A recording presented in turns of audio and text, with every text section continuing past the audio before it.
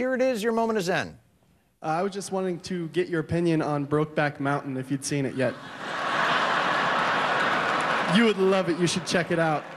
I hadn't seen it. I- I'd be glad to talk about ranching, but I haven't seen the movie.